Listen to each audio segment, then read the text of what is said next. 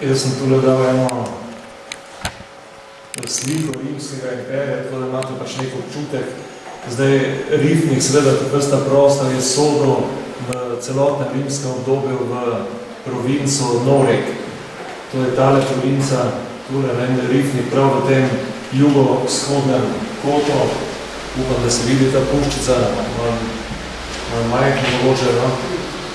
In se pravi nekje v srednjem delu rimskega imperija. In šele potem, po času preseljevanja ljudstev, ko se je celotni imperij razdelil na dva dela, je Rifnik seveda z vsem tem območjem pristal v zahodnem delu, ki je propadal leta 476. Zato so se predstavili nekako tako, da bi pokazal malo te faze poselitev v antičnem pa pozno antičnem obdobju, in hkrati potem opozoril na postojanke v sosedstvo, delno še tudi v zahodnem alpskem prostoru, kot tudi na Balkanu. Bolj na kratko, seveda, podarek bo pač na najviščih iz štajerskega območja in širšega slovenskega. No, tu je ena karta, ki kaže pomembnejša pozvantična najvišča v Sloveniji niso vsa vnešena, bila so odkrita pravzaprav šele v zadnjih 40 letih. Do druge svetovne vojne pravzaprav nismo poznali to vrstne poselitve. Bila je znana poselitev seveda v rimskih mestih, Emoni, Celeji, Petovioni, pa Nevjoduno, ne, štiri rimska mesta imamo. Medtem, ko v poznem tičnem času se, so ta mesta bila opuščena, sicer postopno, nekje do sredine petega stoletja, in se je prebivalstvo veselilo. Delno so odšli, oziroma pobegnili, lahko rečemo temu, v Italijo ali pa na morje, na otoke, recimo, v Istro se jih je precej zateklo, en del jih je pa ostal, ampak ti so se zatekli v te hribovite predele, na hribe, ki so bili pač naravno že odlično zavarovani, tako da so lahko tukaj v teh območjih preživeli nemirno obdobje selitve ljudstev. No in tu so zdaj recimo ta pomembnejša najdišča, od katerih si bomo nekatera bolj podrobno pogledali. E, ko že sami vidite tukaj v zaledju Celeje, je skoraj največja gostota poznantičnih najdišč, nekaj je tudi Rifnik, tu je Vrani recimo, vmes med njima je Prapretno, to je pri planini, Gradec pri Prapretnem, tu je recimo Tinja nad Lokom pri Žusmo, to so štiri najpomembnejše na sredinske točke, je bilo pa še nekaj manjših, ki so seveda bistveno slabše raziskane. No, da ne bomo eh, gledali samo Slovenije, tu sta zdaj dve karte, ena prikazuje celotno vzhodno-evropski prostor, tu zgore levo, je sicer že zelo zastarela, ker je stara več kot 20 let, najvišča so se takrat množila, vendar pa lahko vidite, da gre za največjo koncentracijo prav v prostoru Slovenije. Zakaj to bomo videli morda malo kasneje? Namreč skozi naš prostor so vodile eh, najlažje komunikacije iz severa pa vzhoda proti Italiji. Ne? Tukaj Alpe pravzaprav se spustijo do nižine, ne, na Hrušici, tukaj to so zadnji odrasti Alpe, tu je šla čez cesta, je višina v bistvu 800-900 metrov, Skratka, tu je bilo najlažje priti v Italijo in seveda zato bi ta prostor daleč najbolj ogrožen. In ravno zato nastane tukaj tako velika količina podobnih višinskih, kot je pravno otrjenih naselbin. No, gledajo seveda tudi naprej druge v Alpe, vendar niso tako pogoste, niso tako izrazite, kot so pri nas.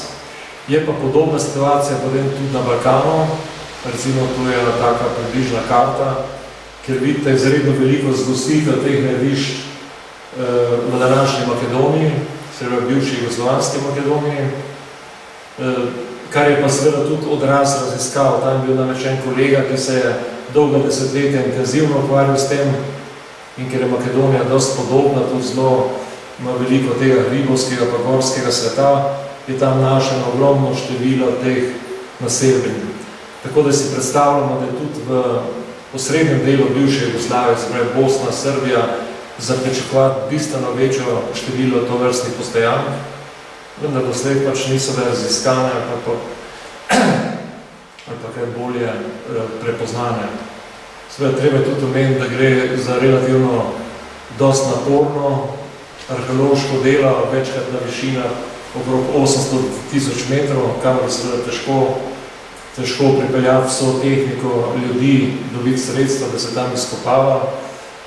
Verjetno že sami poznate nekoliko izkopavanje na rifniku, ki je 500, nekaj čez 500 metrov visok, pa ima cesto, pa je bilo vendarle izkopavanje oteženo, kolikor se še sam spominjam, tistih začetkov, ko še ni bilo ceste gor, ko smo vsakič vlekli vso opremo pravzaprav od znožja pa do vrha na, na ramah, v ruzakih, tako da je bilo to dokaj naporno in seveda tudi podobne raziskave drugod so takšne. Zato je ta slika zelo neizračena, ampak kot sem rekel, v tem območju med Alpami pa med Črnim morjem v tem poznem času, spred med tretjim pa med šestim stoletjem, obdobje približno 300 let, eh, je drugačna naselitvena slika, kot jo poznamo recimo na zahodnem delu Franciji, Angliji, Španiji ali pa na vzhodu. Na vzhodu so prevladovali neotrvene naseljene v nižinah, v Franciji, Angliji, Španiji pretežno rimske vile, ki so bile včasih otrjene, ampak v nižinah. Le tu pa tam je pa kakšno nedišče na višini. No, za ta naš prostor so pa prav najbolj značilne to vrste postojanke, kot si bom danes pogledali. No in treba reči, da je rifnik je med vsemi temi postojankami bil ena prvih, ki je bila prepoznana kot pozna antična naselbina, ena prvih tudi v taki meri raziskanih. Če zdaj pogledamo te zadnje rezultate, je praktično raziskana, pravzaprav že po moje nekje 85-90%, so še ostale neke manjše površine v notranjosti, kjer pa verjetno ne gre več za neke stavbne objekte. Ne? Večinoma je bila naselitev na teh mestih, ki so zdaj že odkrita. No, tukaj sem dal še enkrat tako poenostavljeno sliko te situacije. Tukaj je zdaj dve glavne cesti, ki sta vodili prva iz severa, imenovana Jantrna pot, ki je vodila od Baltika pa do Italije, naprej v Raveno, Rim, in druga, ki je šla iz vzhoda preko Sindi Dunoma, današnjega Belgrada, Sistje, današnjega Siska, in se tukaj pri Emoni, Ljubljani, združile šle potem ravno tako po isti liniji v Italijo. No in med tema dvema cestama je tale naš prostor, ki ga bomo danes bolj podrobno pogledali, z rifnikom na čelo, eh, ki je bil po svoje seveda nekako odmaknen, hribovski, ne, Sej, starejši se bodo še vredno spomnili, pred drugo svetovno vojno so temu prostoru rekli Urwald, Pragost, ker je bil tako težko dostopni. Eh, je hribovski višine do 1000 metrov, idealni ravno za to vrste naselbine. Hkrati je bilo pa pomembno strateško lego med obema tema najvažnejšima cestama. In zato seveda tukaj taka močna koncentracija teh višinskih naselbin. Tule sem ena taka skica, en diagram, da vidite malo, kateri so bili tisti glavni poselitveni sunki v hribe, tu med leti 260-270, pa do začetka 7. stoletja, pa do konca 6. stoletja. Kot vidite, gre no, s temi črticami, so podane približne dolžine bivanja oziroma zadrževanja na teh hribih. Vidno, da prva močna poselitev je pravzaprav nastopila v okrog leta 265, 268, 270, ne znamo natančno opredeliti, ker je premalo naj. In je trajala samo nekaj let, morda celo samo nekaj mesecev ali pa celo samo nekaj dni. Ne vemo, ne moramo tega enostavno eh, povsem zanesljivo določiti. In na različnih najviščih je trajala različno. Potem do nekaj časa zavladal spet mir, okrog leta 300, je namreč cesar Diocletian in za njim potem Konstantin sta normalizirala razmere, eh, uredila državo reforme, gospodarske, politične, tako da država se spet umirila, ljudje so šli nazaj v nižine in potem problemi nastanejo spet v drugi polovici četrtega stoletja, tu nekje je spet okrog 360-370, začnejo različna germanska pa druga barbarska plemena vdirati čez meje rimskega imperija in ljudje se spet začnejo zatekati na teh ribe. No, ta poselitev je že močnejša, traja del časa, predvsem smo pa znotraj naselni, ki so imeli to poselitev, gotovili vedno močne vojaške postojanke. Spravi, vojska je predvsem kontrolirala te hribe, oziroma iz teh hribov je kontrolirala različne komunikacije, ki so tekle v tem območju.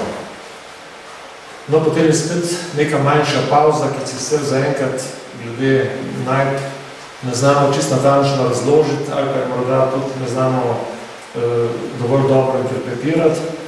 Eh, ponovna poselitev, ki je pa najbolj trajna, ki je najbolj razvidna na nediščih, na rifniku, pravzaprav vse tisto, kar danes vidite, je pa z tega časa, je pa nekje, začne nekje okoli konc petega stoletja, nekje okrog 490, zelo približno številka, in traja vse do 600, ali pa morda celo še nekaj čez ali pa nekaj prej, ne vemo spet ne natančno, ko se potem začne vse naseljevati Slovani in takrat Rifnik in tudi ostala podobna redišča niso bila več zanimiva, kajti Slovani so bili seveda dovolj močni dovolj organizirani, da se niso več bali in so se naseljevali seveda v rovnicah.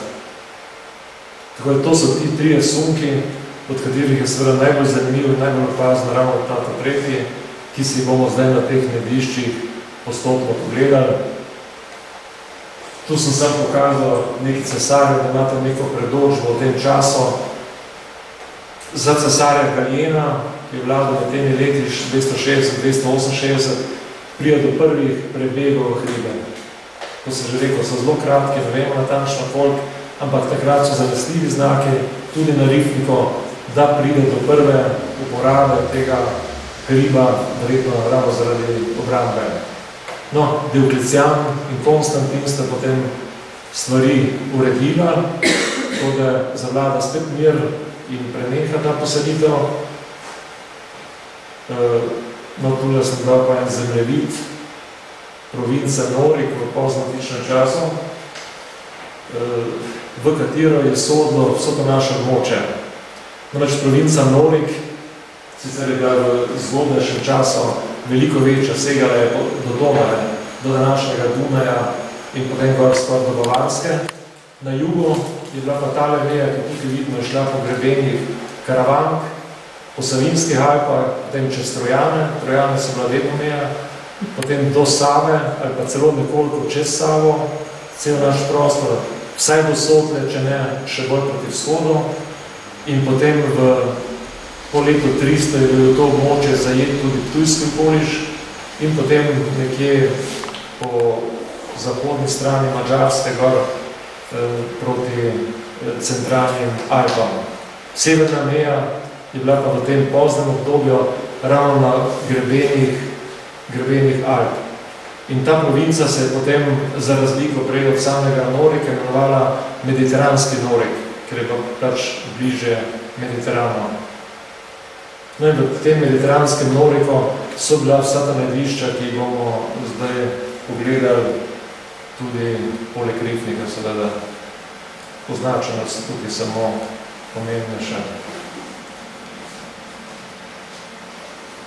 Začel bomo torej z to fazo, ki je najmanj oprijemljiva, ki je bila najkrajša, se pravi fazo poselitve ob koncu tretjega stoletja. Tu je eno medvišče, mogoče kdo od vas pozna, ker mislim se, da v Šmarski občini danes ali Brežiški, ravno tem grebeno Orlice nad podsreškim gradom je tale veliki vrh nad osredkom.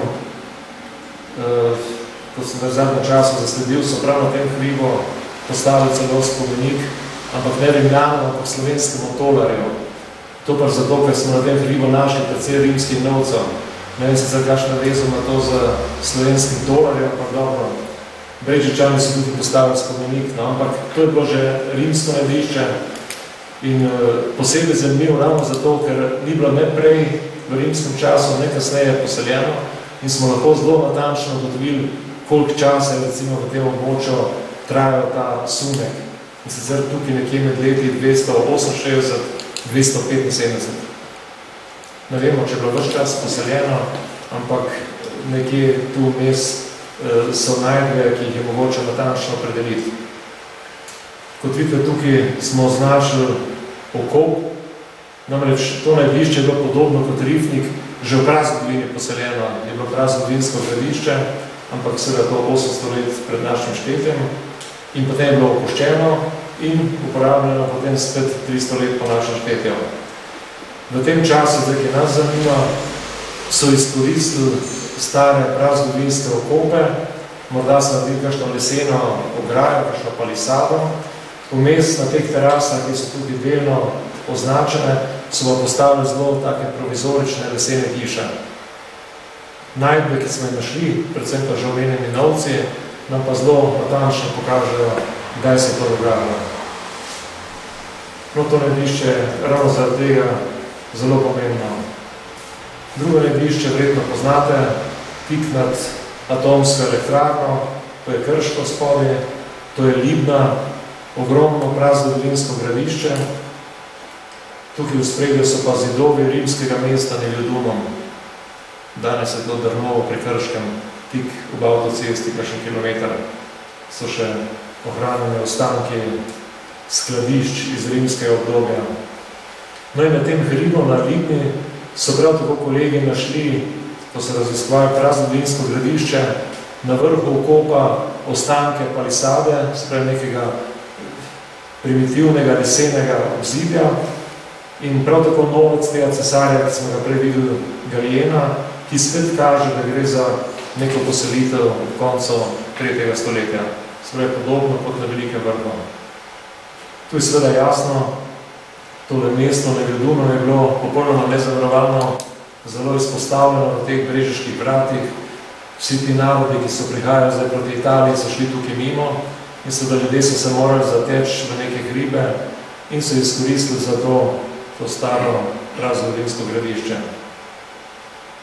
Ampak to gradišče je zelo velika, velika površina, je bilo zelo težko braniti, tako da je kasneje, potem ni bilo več uporabljeno, samo potem ta prvem sunku. No, ta sunek, se rekel, je bil kratek, zato preidemo počasi na naslednji sunek, ki je bil pa že eh, daljši in ponekod zelo dobro opazno, imamo že veliko najprej z tega obdobja. Ta sunek pa začne najverjetneje zaradi vdorov različnih barbarskih plemen preko Limesa, se pravi obramne črte rimskega imperija in ti Germani so včasih že zelo daleč podrli v Italijo in zato so začeli zdaj sistematično izgrajevati neke vrste pribežališča, ponekod pa celo nasedine predstavljati na hribe. Kot sem že tudi omenil, mnogih od njih najdemo sledove vojaških posadk iz časa tu nekje okrog 360-370, pa vse do 410, 420, se pravi, do sam začetek 5. stoletja. No, to se je dogajalo nekako, oziroma začelo dogajati za cesarja Valentiniana, ki je bil sicer znan potem, da je zgradil mnoge vojaške utrdbe že tako na samem Limesu, se pravi današnji Avstriji, Mačarski pa Nemčiji, hkrati pa zgleda tudi v notranjosti ob važnejših padnicah, čeprav ni gradil nekih zelo izrazitih vojaških naselbin, ampak očitno je postavil neke manjše posadke, ki so potem v notranjosti kontrolirale določene komunikacije ali pa prelaze. No, to se še pokazal potem na teh slikah, imamo še cesarja Teodozija Velikega, to je ta znamenit cesar, ki se je na današnjem slovenskem prostoru boril v Vipavski dolini v znameniti bitki pri mrzli reki, Fluvio Frigido in premagal cesarja Eugenija, ampak takoj po njegovi zmagi, že leta 395, ko je umrl, je imperij razpadal na dva dela. Zahodnega je dobil temnejši sin Honori, zgore, spodnega potem Arkadij. In odrat naprej se je imperij delil na dva dela, se nikoli ni več združil, razen v enem samem poskusu potem, da bomo pa posebej pomenili, ki se Rifnika še posebej tiče, in sicer poskus za cesarja Justinjana, se pravi nekje sredi šestega stoletja. No, nekaj teh nevis četrtega stoletja, tule kažem situacijo pri Mariboru, na rovu Mariborja v Radovinu, so odkrili rimsko vilo, ki je trajala vse do konca četrtega stoletja, se pravi nežinska poselitev, hkrati pa na pošteli, na tem hribo, na obronki Pohorja, na starem prazdovinskem gradišču tudi nastane neka naseljina iz konca četrtega stoletja. Tako da se zdi dosti razumljivo, da so se iz te vile in seveda številni drugi, ki so bile temu območju odkrite, v času nevarnosti zatekali potem na to medišče. Ne. In tako situacijo najdemo pravzaprav tudi na številnih drugih delih in na drugih območjih Slovenije.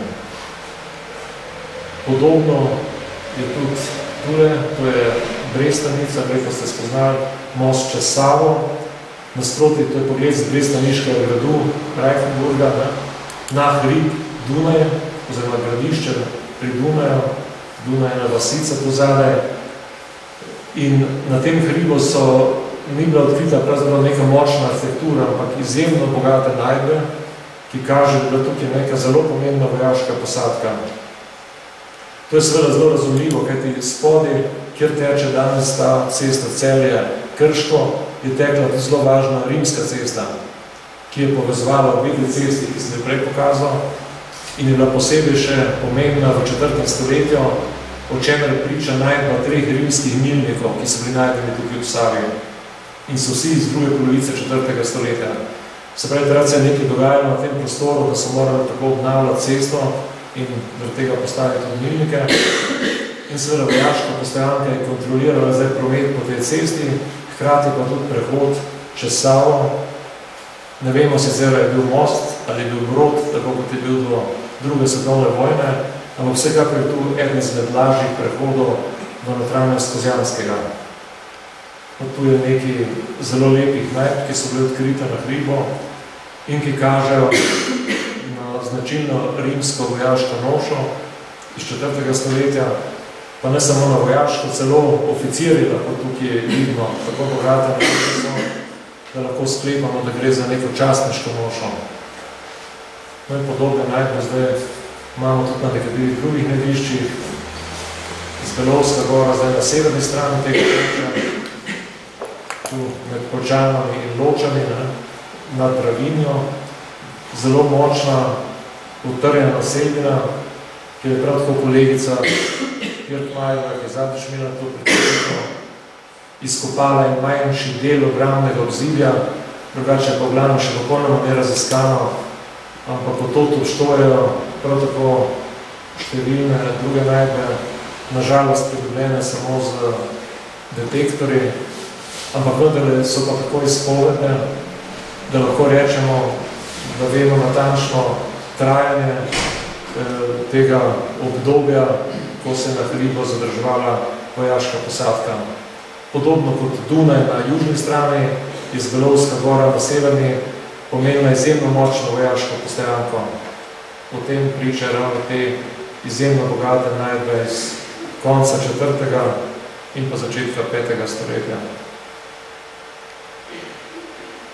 No, vse te postajanke, ki sem zdaj omenil, so bile praktično neraziskane. Na velike vrhu smo napravili neki sond, tukaj na Zbelovski gor je neka manjša sonda narejena. Edino zelo dobro raziskano, raziskano trdba iz tega območja in časa je pa Anšlikovo gledišče na kaj so to, eh, jugo-vzhodnih obronkih Pohorja nad Slovensko Bistrico, na višini nekje obrok 700 metrov. Potod je krasen razgled, kot vidite, tule smo označili, panonska ravnica se lepo vidi, Ptuj, ki je oddaljen tu 15 km, se vidi s prostim očesom.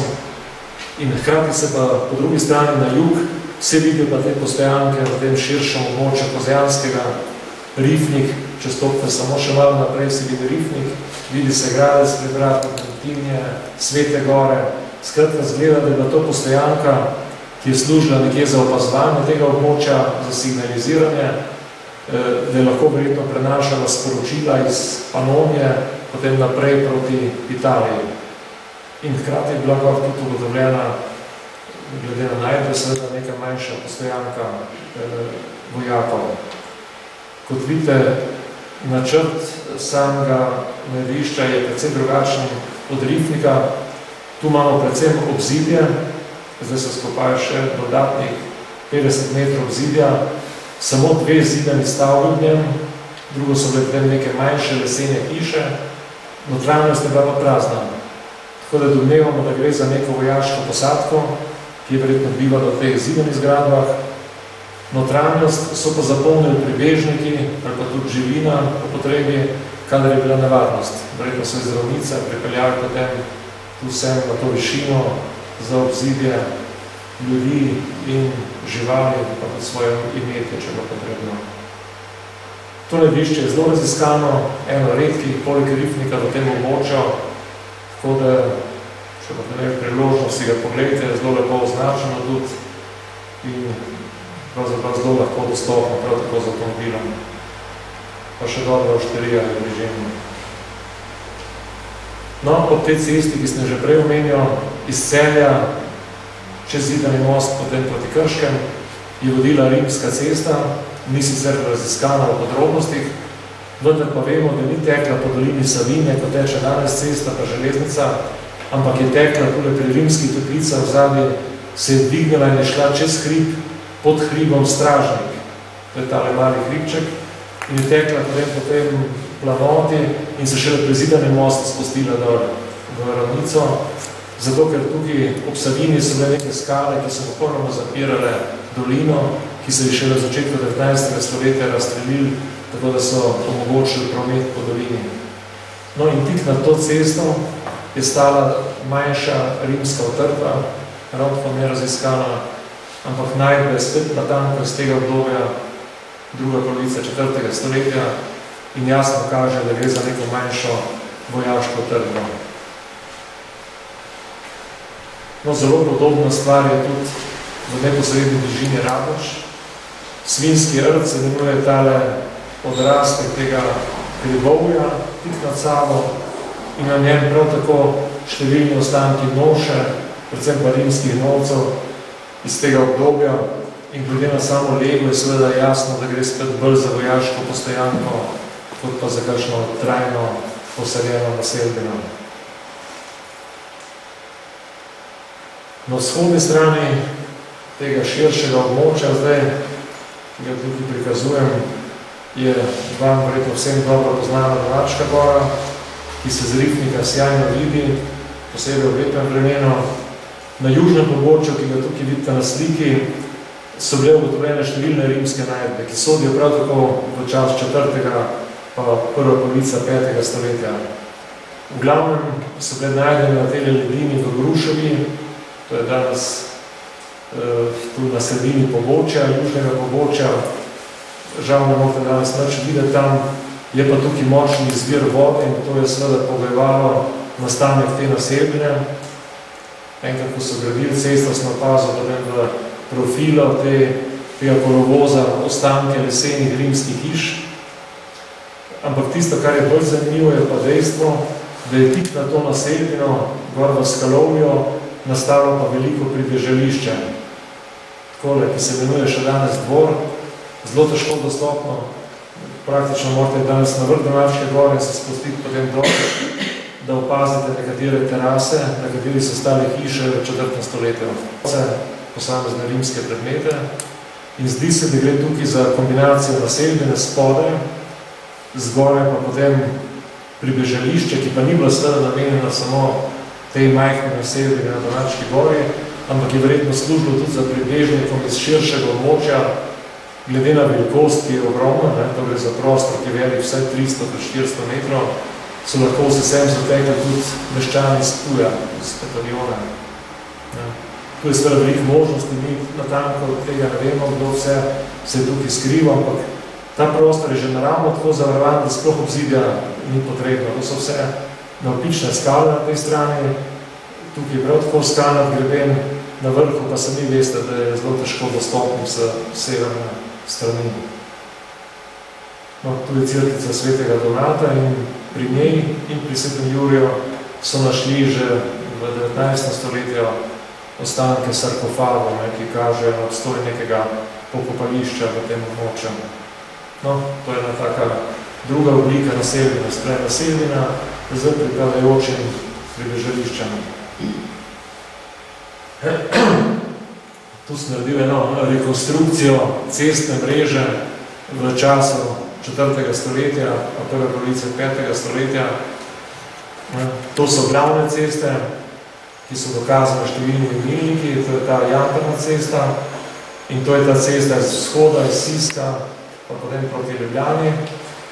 In vmes ta cesta, ki je šla potem po dolini Savinje in Save, vmes pa nekatere hipotetične ceste, seveda to niso bile neke zgrajene ceste, verjetno bolj kolovozi, poti, tukaj so še danes seveda tudi ceste v notranjosti Kozjanskega, eh, kajti rekonstruirali smo jih lahko s pomočjo določenih nedišč, ki so tukaj zdaj označena in ki imajo najdbe iz tega časa. In večina od njih ima tudi vojaške najdbe. Tako da je to ena taka, seveda, domnevna rekonstrukcija teh cest oziroma povezav, ki pa je verjetno do neke mere eh, verjetna. Ja. Pri Rifniku kaže, da se neka cesta odcepla notranjost, ker kajti drugače je enostavno naseljena oziroma otrdba pri Tinjo in pri Rudnici ni razumljiva. Namreč ravno na Rudnici, to je tukaj zahodni del, danes izjemno skrit prostor, so našli izjemno lepe vojaške najdbe, celo del eh, paradnega oklepa iz četrtega stoletja. Ne? Tako da vsekakor gre za nekaj postajanko, ki je morala čuvati neko komunikacijo, drugače se enostavno ne da razlagati obstoja te utrbe. No, medtem ko v tej cesti ta je jasno, oziroma poti eh, po dolini Gračnice, seveda, ne, to je še danes ena izmed pomenjših komunikacij čez osrednji del Kozjanskega. Imamo pa ravno tako dosti močne postojanke. Prostite, smem jaz tudi sem eno vprašanje. Um, to pomeni, da ker med Rifnikom pa Praprotim ni bilo povezave, ne? To pomeni, da tudi... Med Rifnikom pa Praprotim? Ja, vidim, ja. da nimate ceste. Mislim, da niso, seveda bi lahko tudi nariso. Seveda, verjetno je tudi bila na neke poti, so nedvomno bile, uh mhm. -huh. ampak skušal sem posebej tiste, ki Aha. malo več ne viš nakazuje, zdaj, ker vmes pač ni bilo, se nisem upal več, ne? Sem, ne, ne, razumem, To je domnevno, ne? Sigurno je bila povezava. No. Posebej še zato, ker sta obede naselje tako pomeni, ne? Seveda so tega vezi obstojale. Ampak jaz se skušal predvsem te bolj oddaljene vojaške pokazati, ki jih utrdbe nakazujejo, ne? In ker tukaj vmes zaenkrat ni, pač si nisem upal tega potegniti. Lahko je pa domnevamo mirno. Bi lahko pa rekli, da je bila neka komunikacija. Ne, dobro, seveda. No, zdaj smo prišli že do razpada rimskega cesarstva, seveda zahodnega dela, leta 476 formalni konec, ta zapadni del, kot vidite, s pravo barvo, je bil že takrat zelo zožen samo na ta del Italije, na naš prostor, pa prostor Bosne. In eh, ta je potem dokončno ugasnil, ko so barbarske najemniki odstavili zadnjega rimskega cesarja.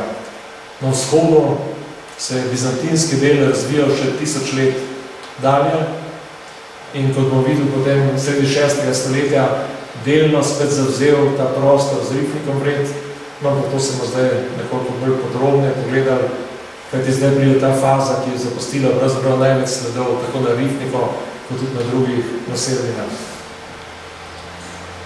To obdobje, že prej smo menili, gre zdaj za čas nekje eh, konca petega stoletja in celotnega šestega stoletja.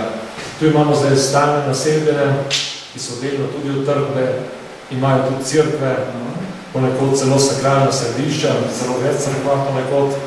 Skratka, gre za eno trajnejše naselbine, ki so zapustile številne sledove in to obdobje nekako se začne v času, ko je v naš prostor e, prišla skupina vzhodnih gotov, ki jo vodil izjemno pomemben kralj Teoderik Veliki, še danes izjemno pomemben, posebej še v germanskem izročilu, ki je zavzel celotno Italijo in ves prostor današnje Slovenije, Bosne Hrvaške in tu ustanovil to svojo vzhodno-vodsko državo. In takrat so v bistvu naši kraji še doživljali zadnjič razcvet v antičnem obdobju. Kljub temu, da je bil German, je vendar ne skrbel, da je ta antična kultura in ta štandard, ki so ga že dosegli, vztrajal še naprej. Ne? Čeprav jih mi danes označujemo kot barbare, so se vendar dosti civilizirano odnašali in pospeševali v bistvu vse te kulturne pridobitve, ki se jih poznajo že odprej. In tukaj vidimo recimo upodobitev Teodorika, seveda iz srednjega veka, kot so si ga predstavljali, kot enega izmed največjih junakov evropskih, še danes v crkvi, v Innsbruck, odhoda podoben. To je pa edina upodobitev, ki je koliko toliko verodostojna in celo na Rifniku je bil najden eh, njegov lovec. No in potem za njim, ko Teodrik umre, je nad cesar Justinjan na vzhodni strani s svojimi močnimi ambicijami v bistvu želel ponovno obnoviti rimsko cesarstvo in je počasi sprovociral Gote, da je prišlo do vojne z Goti in v 20-letnih borbah jih je premagal. In takrat je spet ta naš prostor prišel kot Bizantince, sicer samo za nekaj let, ampak vendar se to ravno na Rifniku in še na nekaj drugih utrdbah v Sloveniji zelo pozna, kajti gre za številne pregradne, posebej v cerkvah, na obzidih in tako naprej. No, to je čas, eh, on vlada nekje eh, 527 do 565, pravi zelo dolgo obdobje, eh, pri nas pa samo nekaj let, ampak sem že rekel, je pustil številne sledove, posebej že pomenim zato, ker je ta naš prostor, no tukaj je zdaj recimo vzhodno cesarstvo, na levi strani potem vzhodno-gorska država, ki so je zdaj Bizantinci premagali. E, Justinian je pa posebej pomembno zato, ker je videl, da tega prostora ne bo mogel dolgo držati, ker so ga namreč za zahodne strani pritiskali Franki, ki so v tistem času ustanovili svojo državo, postali zelo močni. E, Justinian pa nima toliko vojske, da bi lahko celotno svoj imperij krotil oziroma vladal. Zato je povabil Langobarde, se pravi drugo germansko pleme, ki je tako oziroma ljudstvo, ki je takrat živelo v prostoru Panonije, recimo današnja Mađarska pa del Avstrije, in je v eni pogodbi izročil mesto, oziroma kot v originalu piše, polis Noricom, se pravi noriško mesto, in ohiromata je ti Panonijas, kar pomeni potrdbe v panonski meji dolgo časa nismo vedeli, kaj naj bi to bilo, kaj to pomeni. Nekaj časa so mislili, da je polis na rekom Petovil, tuj, ker ti polis pomeni mesto. No, potem je en avstrijski arheolog, zelo pomemben, Eger, že v prvi polici 20. stoletja ugotovil, da gre verjetno za območje mesta Petovijo in območje mesta Celeje. No, jaz sem kasneje to lahko potrdil, kajti ravno v tem prostoru, se pravi na Rifniko, Tinjo, Bistrici v Sotli in Vranjo smo našli sledove Langobardov, ki jih recimo na Ptuju ni. Celi rimske mesto Petalione, niti je ena Langobardska najde, na tem, ki imamo na teh, na teh naseljenah relativno veliko.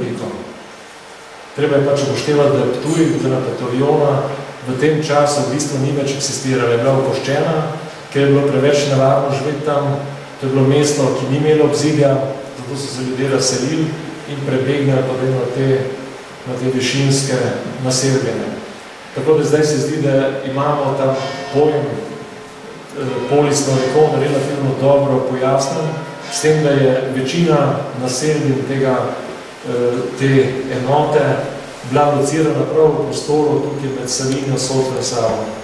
So pa seveda še druge poslejanke, recimo v Savinski dolini smo v zadnjem času našli Bulevar blizu Mozirja, sta dve take točke, ki sta še popolnoma neraziskani. Tudi potem morda eh, na hrvaški strani še kakšna točka, tudi tam so zdaj Hrvati začeli raziskovati eno zelo pomembno medišče. Tudi to je verjetno sodlo po, ta, po to območje, tako da ta stvar se zdi zdaj dokaj dobro pojasnjena. Medtem ko te utrdbe v Panoniji se pa nakazujejo v nekaterih utrdbah na Dolenskem in Gorenskem. Namreč Panonija je potekala nekako odkole v tem območju in ravno tukaj imamo nekatere nedišča, ki imajo lagovarske najdbe. No, če začnem zdaj pregled teh poznih nedišč, koliko časa imamo še približno? Nismo neč omejili tega. Dobro, da malo to razdelim, je še kar nekaj tega. Eh, ta pozna nadišče iz te zadnje faze, najbolje vidne na terenu.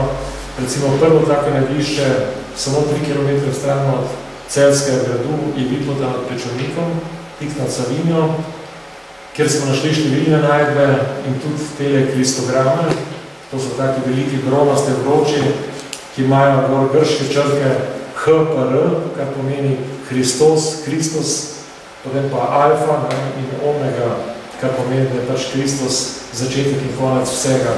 Sedaj značilni zgodne hrščansko okrasje, ki je nekoč bilo montirano v cerkvi kot svetilo, namreč na to, na ta kolobar so bile pričvrščeni potem delfini, na robu teh delfinov pa obroči zasteklene svetilke. To so pravzaprav svetila. In ta svetila so da tako velika, da so lahko bila nameščena samo v cerkvah, tako da domnevamo, da gre za opremo celskih crkva iz 4. 5. stoletja, ki so jih potem, ko so opustili mesto, prenesli sabo na te višinske utrpe. To je tak zanimiv podatek, ki kaže na to selitev iz mesta v hribe. Ja, to smo. Ste omenili delfine, ne? Ja. A se je kdo ukvarjal, zakaj delfini, ker načeloma je riba, uh, se bolj, če, če. Ja, ampak tudi delfin je veliko krat že v vzhodne hrščanske umetnosti v katakombah in veliko krat ni samo riba, ampak je prav delfin. Se ga da prepoznati. Ne vem, zdaj ima to kakšen poseben pomen, ampak se velikrat pojavlja, tako da je kot zgodni hrščanski simbol, ampak verjetno podobno kot riba. Čeprav delfin je še vedno riba. Komu sem račko reči, se No, to je pogled na Vipodo. Na njej v bistvu ni zidanih ostankov, to je za južno poboče, naselbena pa približno omejena zdaj s tole rdečo črto, samo z naravnimi prepadnimi skalami ali pa strmimi poboči, tako podobno kot Danačka gora. Vmes smo pa našli, ko so nas kolegica Pirk Marjo sondirala, ostanke lesenih stav, podobno, kot jih bom potem pokazal na Tinjo. Samo tu smo upravili svojega manjše izkopavanje, tako da ni tako dobro poznano, ampak seveda ta naselba ni bila tako pomembna. Bile so kar stavbe, ki so bile lesene, sledov cerkva ni videti, tudi sicer ni naselba tako velika. Očitno je bilo zelo nevarno živeti, kajti na tem mestu, kajti bila je preblizu mesta, preblizu te rimske ceste, ki je tekla v neposredni bližini. No, zdaj pridemo pa do nam vsem dobro poznanega Rifnika. Kot sem že povedal, Rifnik je bil ena izmed prvih